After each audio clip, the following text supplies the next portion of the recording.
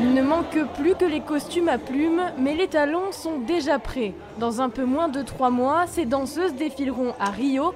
Depuis plusieurs semaines, les entraînements sont intenses pour que tout soit parfait le jour J. Le dimanche, c'est une euh, préparation spécifique.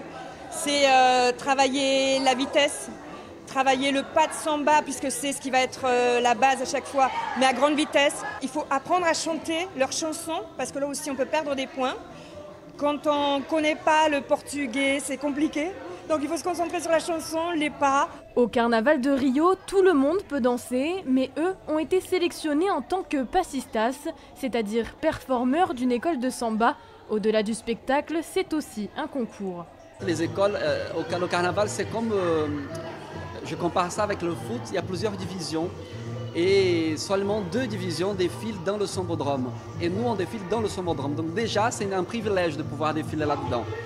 Et donc c'est un concours. Les écoles qui gagnent euh, accèdent à la division supérieure à chaque fois. Et les écoles qui gagnent, euh, elles gagnent aussi de, subventions, elles gagnent de l'argent. Enfin, c'est tout un investissement qui est apporté à la communauté.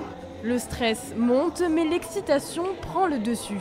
Là, je compte les jours et on est à moins de trois mois. Donc, euh, il me tarde et en même temps, euh, j'ai besoin du temps pour me préparer. Donc, c'est un mélange d'émotions. L'école Méo Brésil défilera dans les rues de Rio le 9 février prochain.